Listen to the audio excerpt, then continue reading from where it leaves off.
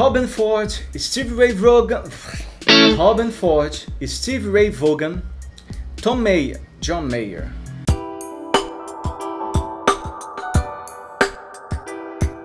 Robin Ford, Steve Ray Vaughan e John Mayer amam este ampli. Será que você vai gostar também? Oi, eu sou Alex Machado, psicólogo e músico, e neste vídeo eu vou falar um pouco sobre o ampli Dumble Overdrive, que é um, um ampli super interessante, sofisticado, de boutique, caríssimo. Escuta um pouco dele aí. Bem,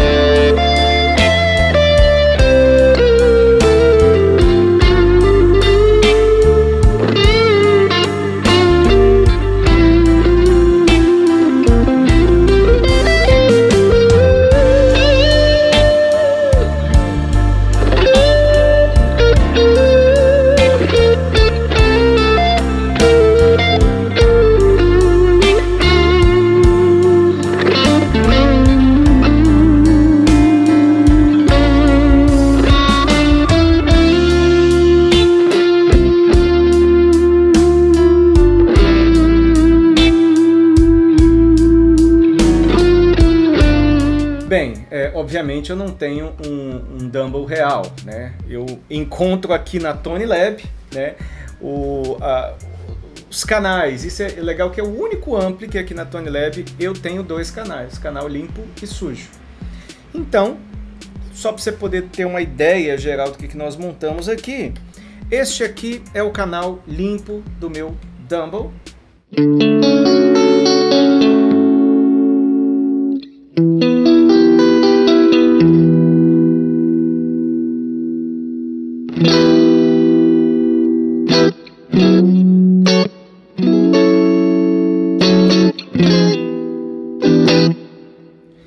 Este aqui, o meu canal Drive.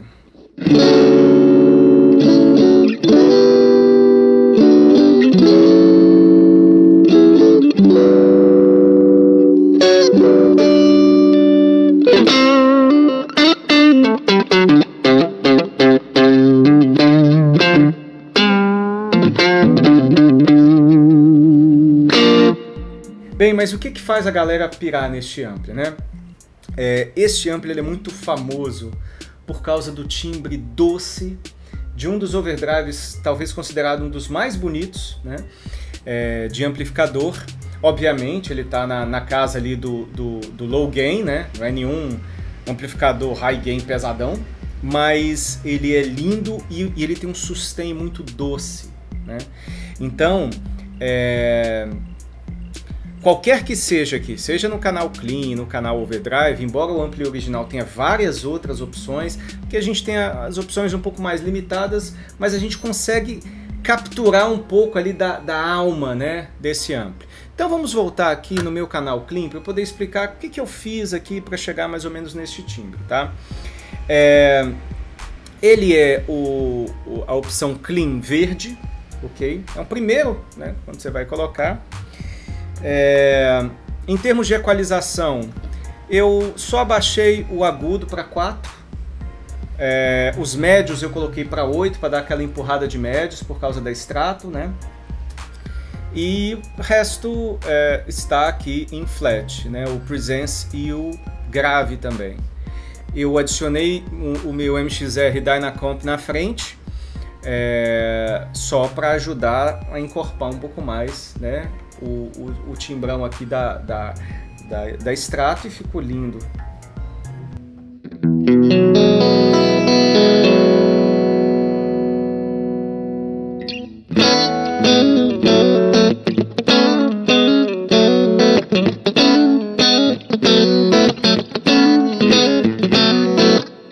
Aquele clean que fica bonito para você fazer algumas bases em funk, né?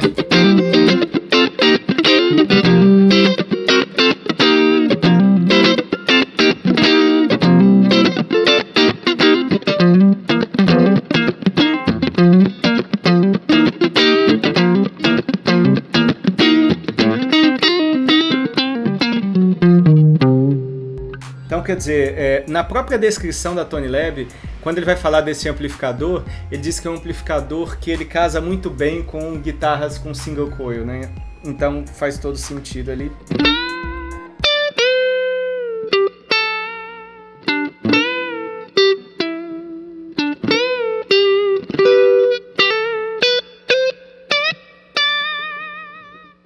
Você escuta né, o detalhe de cada nota.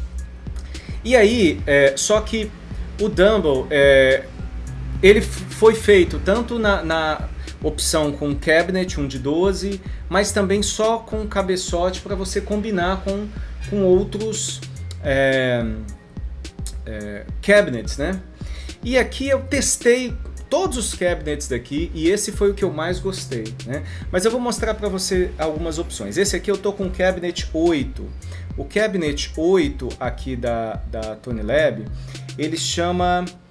É, é, um, é um cabinet com a traseira fechada, né, da Vox mesmo, da série VTX, e que tem é, é, é, falantes, dois falantes Celestion de 12 polegadas, né? E daí ele, ele como ele tem a, a traseira fechada, ele tem esse som bem mais é, é, apertado, vamos dizer assim, né?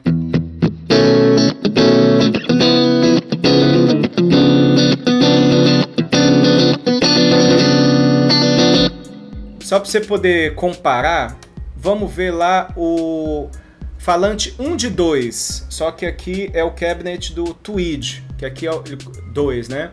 É, que já tem um, um, um, um alto-falante de Alnico,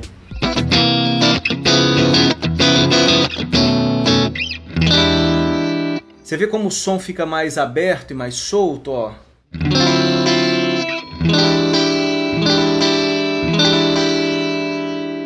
Quando eu coloco lá no, no 8, ó.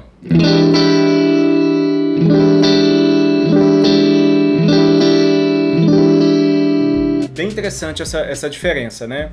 Um outro que eu gostei aqui também é o 5, que ele corresponde a um 2 de 12 é, do Fender Blackface, né? Então também são, são é, de 12 é, polegadas, só que aqui os, os alto-falantes são cerâmicos, então eles são um pouco mais fechados também, veja.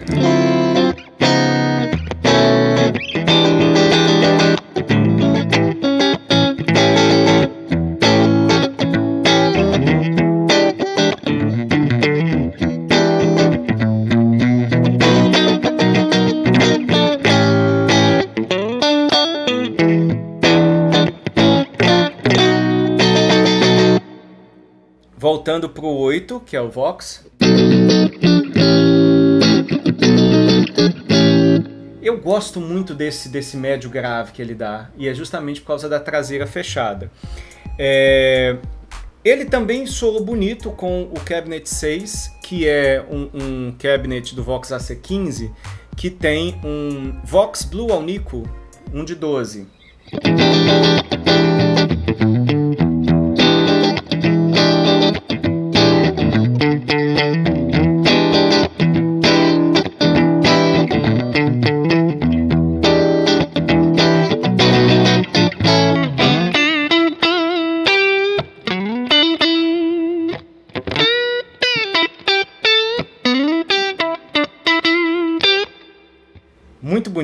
Mas eu ainda gostei do, do 8, ó.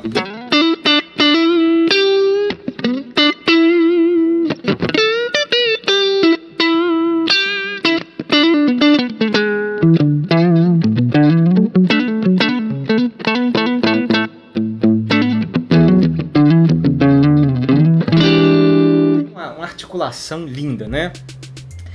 Uma outra coisa que dá pra gente brincar bastante aqui com ele é adicionar pedais de overdrive, que o pessoal adora fazer isso com o Dumble Overdrive original, né? Eu já deixei aqui um, um Tube Screamer, tá? É, ele está com 5 de ganho. E aí, escute aí sem ele e quando eu adiciono, como é que ele ele traz o, o todo o sotaque, todo o timbre Dumble para o nosso som.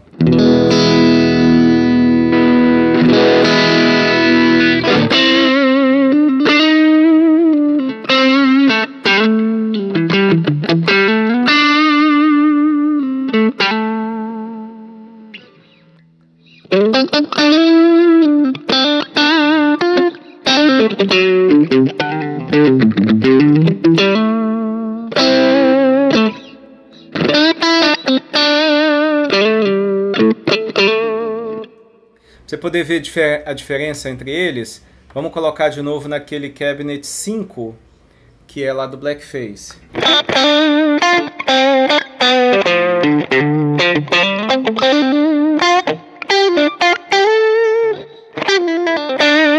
Ele fica bem mais contido, né? Quando eu coloco esse da Vox, ele cospe um pouco mais as notas.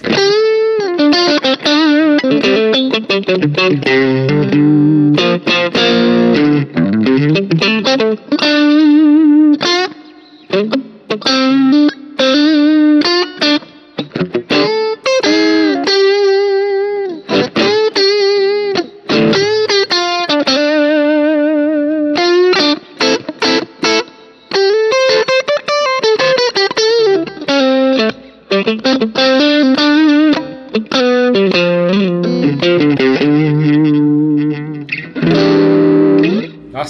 bonito.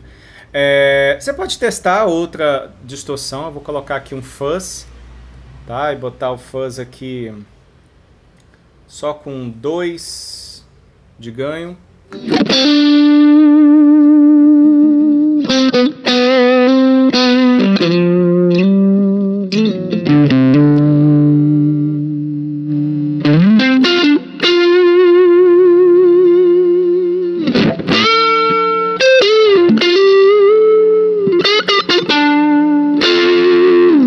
Percebe, o sustain tá ali, tá muito bonito e é muito gostoso de tocar, sabe? Mas vamos pro, pro canal Drive dele, né? Isso tudo que eu tô fazendo aqui era no canal Clean. Aqui eu fiz o canal Drive, que corresponde aqui ao Boutique Metal, é, é o último negócio, verde também, a última opção aqui de amps. E o timbre é realmente muito parecido, eu tive que diminuir só um pouquinho o agudo e o presence, mas... Então compara aí, ó, vou colocar o Clean e depois o Drive. Tocando tudo igual aqui.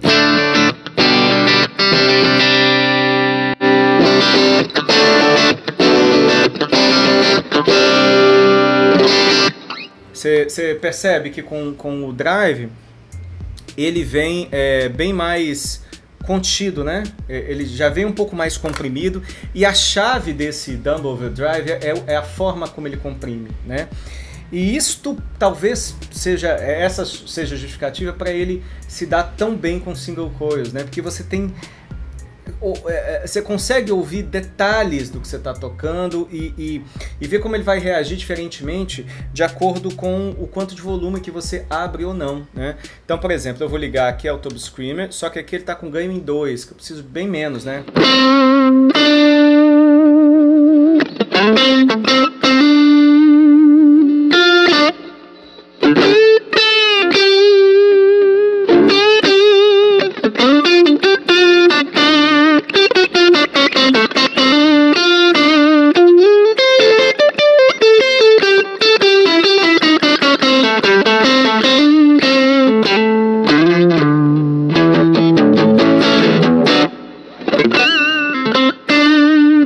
E, aí, quando você faz pequenas mudanças, onde quer que você esteja tocando aqui, em termos de captadores, por exemplo, é tudo facilmente perceptível. Então, quando eu coloco aqui na posição intermediária, né, é, braço e, e meio, ele vem com toda a doçura do single coil.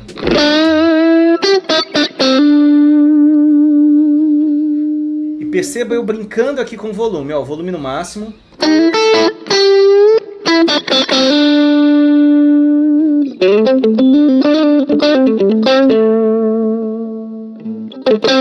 you.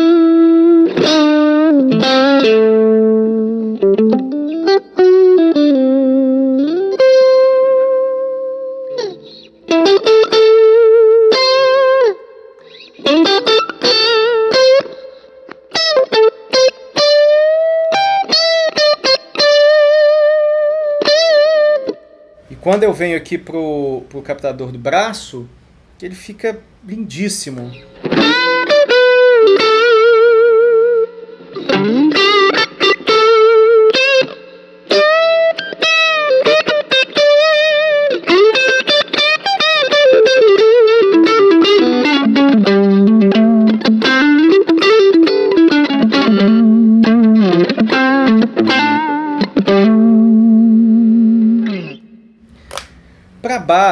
É aquilo que a gente falou, né? Ele, ele é um timbre muito nessa praia do crunch, assim. Então ele não é um high gain, né?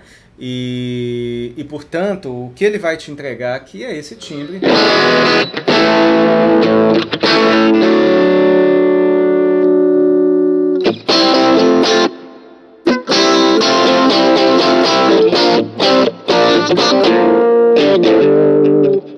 Se, se rola alguma coisa mais. Vamos aumentar um pouquinho o ganho dele.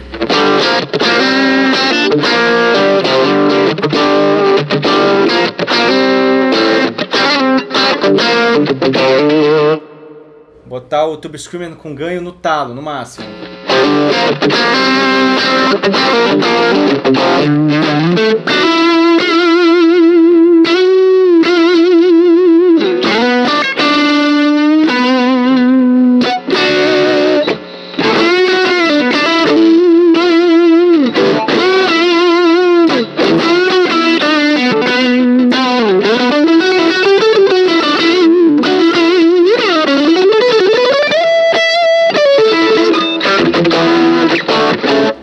Acho que ele está embaçando um pouquinho.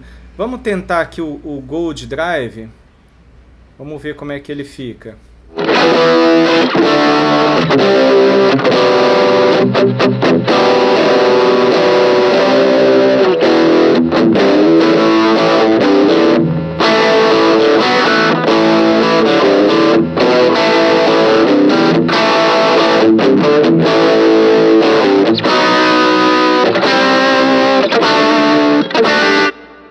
Acho que ainda está um pouco embaçado. Tirar um pouquinho do ganho.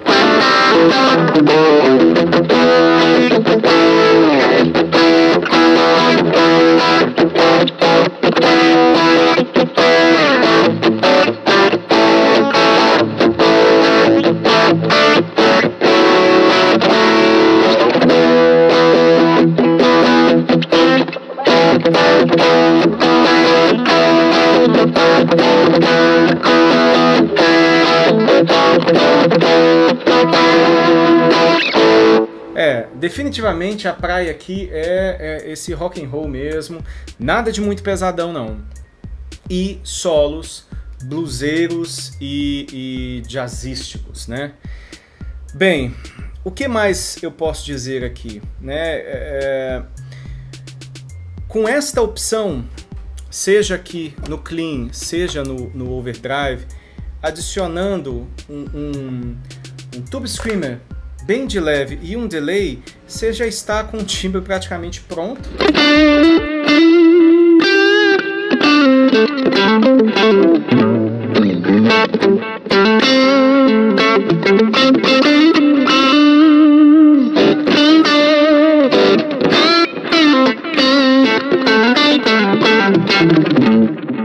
Lindo. Há também a possibilidade de você aumentar o próprio ganho do, do, do amplificador aqui. O meu canal de overdrive eu estou usando com ganho no 3, mas posso dar um pouquinho mais, chegar em 5, tirar o pedal.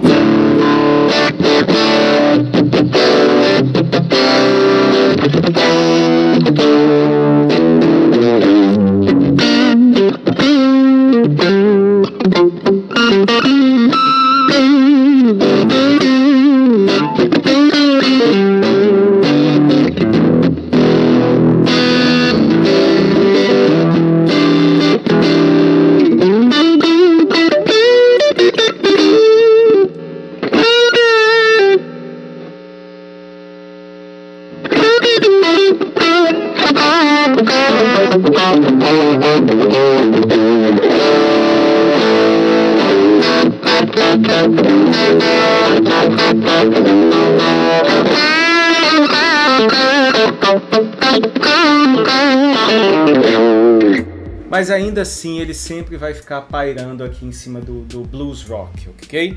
Bem, espero que você tenha curtido. Eu curti pra caramba. Se você chegou até nesse final, por favor, deixe seu joinha, compartilhe, dê ideias de novos vídeos ou de repente novos amplis, né?